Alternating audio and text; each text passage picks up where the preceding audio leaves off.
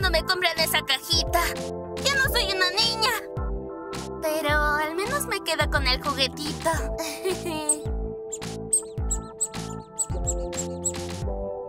Ay, bueno, creo que también te gustan a ti. Pero en esta ocasión hablaremos de vos. Sí, porque esto ocurre en el sur de América. Esto ocurre en Argentina y hace muchos años. Quizás desde antes de que tú nacieras. Pero, ¿sabes? Interesante, ya que pocas personas lo recuerdan en este país. Además, esta historia es de las que parecen falsas e inventadas, pero no lo es. Hay que tomar nuestra máquina del tiempo favorita e ir al siglo XX, más exactamente a 1974. Y más exactamente aún, al cono sur de América. ¡Sí! ¡Vamos a Argentina! Sur de América en 1974? Se crearía una de las primeras franquicias de comida rápida de este país. Y además de eso, el tema de este video. Pero, ¿qué cadena? Esta era una cadena de comida rápida que vendía hamburguesas, creada en 1974 y abierta un año más tarde en 1975. Era Pumpernickel. Pumpernickel era, como ya dije, la primera cadena de comida rápida de este país.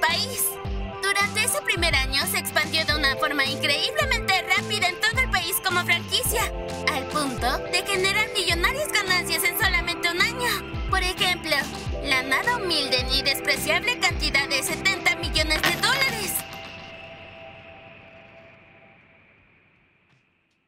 Esta cadena de comida rápida estaba especializada en tres comidas que seguro a la idea ya te harás. Papas fritas, hamburguesas y batidos. Era considerada como el McDonald's de Argentina. O más bien, el Burger King. Y ahora verás por qué. ¿Era porque servían hamburguesas? No. ¿Porque daban papas fritas? Ah, ah. ¿Por ser comida rápida? Tampoco. Sino por esto. ¿Esto te suena un tanto conocido? Oh, sí. Y creo que ya sabemos quién tuvo demasiada ira al ver esto por primera vez. El logotipo de Pumpernick no era parecido ni similar. Era exacto al de Burger King. Pero, ¿cómo era esto posible? Veamos. Quizás... ¿Podría ser una coincidencia increíblemente grande? ¿No? Quizás... ¿Primero fue creado Pumpernick y no Burger King? ¿No? Pues la primera tal vez, pero si tomamos en cuenta la segunda y la segunda es no, por lo que automáticamente la primera también es un rotundo no. Ya que Burger King fue creado en 1954 en Estados Unidos, mientras que Pumpernick, como ya te había dicho, fue en 1974 en Argentina. O sea que tenían 20 años de diferencia una de la otra. ¿Qué fue lo que le dijo el dueño de Pumper al, entre comillas, saber que era demandado por, entre más comillas, una empresa de hamburguesas completamente desconocida en Argentina? Pues... nada. Él aseguraba que jamás, nunca jamás en su vida había escuchado y mucho menos visto a Burger King. Pero... ¿Qué tan cierto era? Pues al parecer lo suficiente. Ya que por la ley argentina no se podría demandar por plagio del logotipo. Al parecer era muy fácil engañar o convencer, según se vea, a las leyes argentinas. Por lo que Pumpernickel era intocable de maneras legales contra ellos. Una millonaria gigantesca multinacional como Burger King sino que también tenían todo a su favor, ya que como viéndolo de Argentina hacia afuera, si ellos querían entrar a este país, tenían que tener todo en regla para ello. Pero había ese problema.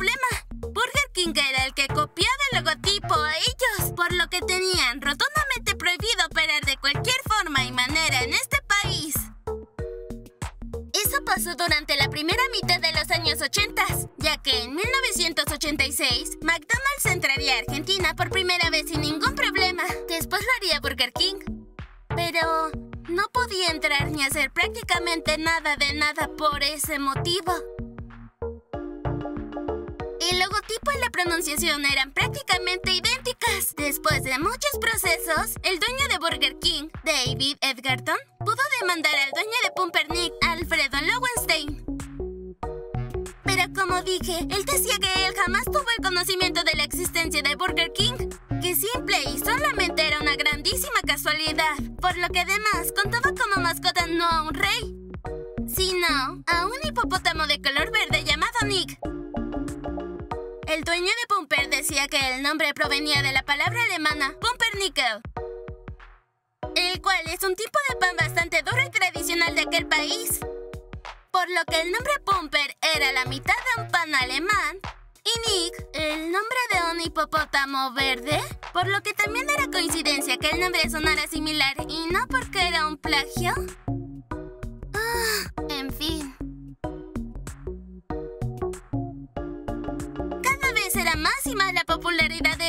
franquicias de comida rápida, en especial entre las personas jóvenes. Tanto fue así el éxito, y llegando al punto de aceptación, que en sus comienzos, la banda de rock argentina, Soda Stereo, estrenó dentro de uno de sus locales de la franquicia uno de sus primeros videoclips.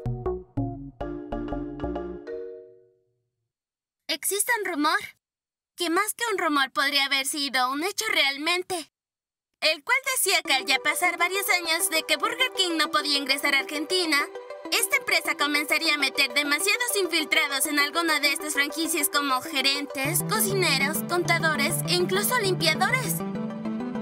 Para encontrar algo, algún punto débil de esa empresa que cada año era más y mucho más fuerte por lo que en el año de 1989, dentro de una de las facturas y de los papeleos de una de las sucursales de Pumpernickel, encontrarían una factura muy escondida, la cual era de un horno especial para la cocción de la carne de las hamburguesas, que había sido directamente comprada de una de las sucursales de Burger King en los Estados Unidos que había sido recientemente cerrada. Pero, ¿Para qué comprar un simple horno desde el norte de América para ser entregados hasta el sur del continente? Parecía una historia bastante difícil de creer, por no decir que falsa. Pero resulta que los hornos de Burger King son exclusivamente creados por ellos y para sus locales solamente. Por lo que al checar ese extraño horno de cocción, encontraron que habían sido retiradas unas numeraciones de identificación y nombres del fabricante, o esas típicas palabras como algún número de serie o creado exclusivamente para los restaurantes de Burger King, o cosas así. Pero el mecanismo, el diseño, la forma y la manera de hacerlo funcionar eran completamente idénticas al momento de compararlos con los de ellos. Esto tiraba completamente la defensa del dueño de Pumpernick, ya que, recordemos, él decía no tener idea de la existencia de ellos, por lo que demostraba que tanto el nombre como el logo eran completo y descarado plagio.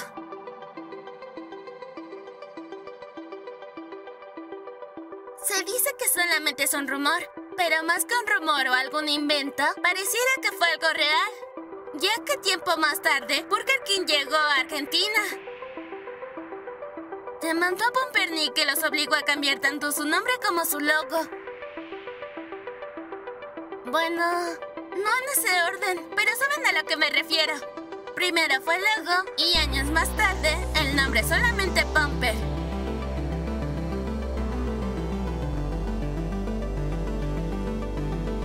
El año en el que pasaron las demandas y Burger King entró a Argentina, en 1989, pero unos meses más tarde, en 1990, el dueño de la empresa, cansado de tantos problemas, decidió retirarse del negocio y pasarle todo a sus únicos dos hijos, los cuales no contaban con experiencia alguna. A pesar de ser los hijos del creador de la cadena de comida rápida más grande y exitosa del país, ellos eran Diego y Paula.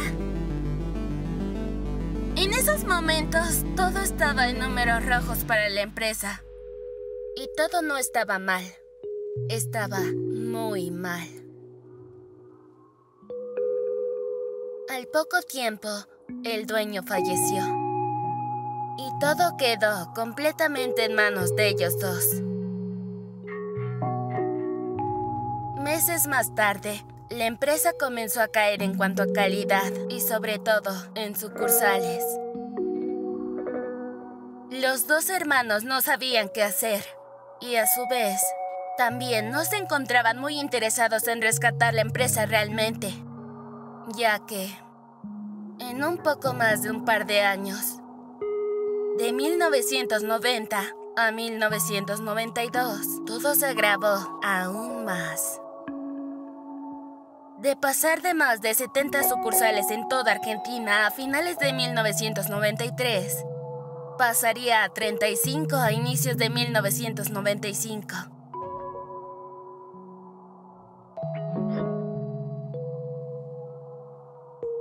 Un año más tarde, y cuatro más para comenzar el siglo XXI, en 1996, ocurriría un golpe más para esta empresa de comida rápida. El sistema, o más bien, el poco y débil sistema de franquicias que quedaba, colapsó.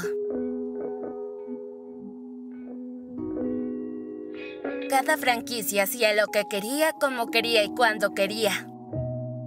No había ni existía un orden ni un control al hacer las cosas en cada sucursal, por lo que la calidad en algunos restaurantes era buena, en otras eran malas y en algunas más eran peores. Así siguió por un tiempo más. Cada vez y mes por mes cerraba una sucursal más. En 1997 solamente quedaba una sola sucursal. Pero, literalmente, nadie sabía ahí para quién o quiénes trabajaban.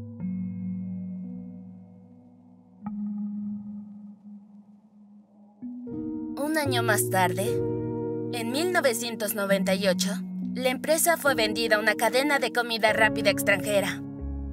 La cadena era Wendy's. Por lo que los nuevos dueños de esa submarca de Wendy's eran los empresarios inmobiliarios Goldstein y Rosenbaum. Decidieron darle una segunda oportunidad a la empresa, haciendo un nuevo logo y una reestructuración para competir con las grandes cadenas de comida rápida como Burger King. Sin embargo, para más mal que bien para ellos, simplemente no pudieron dar ni un poco de batalla. Todos sus esfuerzos jamás funcionaron. Al no poder competir con las monstruosas multinacionales, Pumpernickel nunca pudo ver ni estar en el siglo XXI, ya que cerró las puertas de su última sucursal en 1999, tras declararse en una completa y absoluta bancarrota. En fin.